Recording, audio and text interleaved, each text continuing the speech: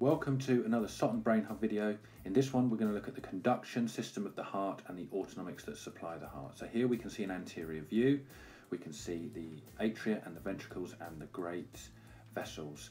So we're going to focus on the right atrium here and in the right atrium we'll firstly be able to see the SA node, the sinoatrial node, the pacemaker of the heart. This is located just where the superior vena cava enters the right atrium.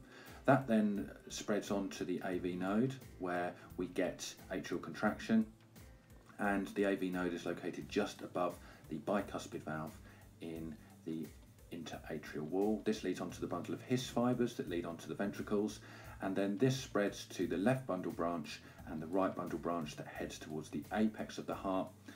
These uh, fibres double back from the apex of the heart in order to reach Purkinje fibres located between the myocardium and the endocardium. So how does the autonomic supply affect the heart? Well, the heart is myogenic, so the heart beats of its own accord. So the autonomic system can either speed up the heart or slow down the heart. And this happens via two ways. We have sympathetic nerve fibres, which I'm drawing on now, that come from T1 to T5 in the spinal cord. And these send out preganglionic fibres that enter into the sympathetic chain.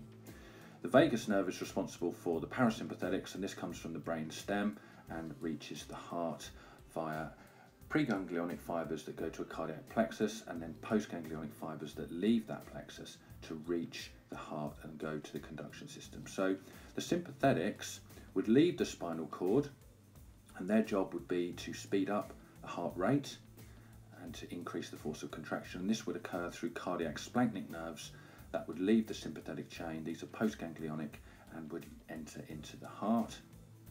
The brain stem would hold the nucleus of the vagus nerve and from there that's where we would see the parasympathetic fibres that would reach the pacemakers of the heart, the SA node and the AV node and slow down the conduction.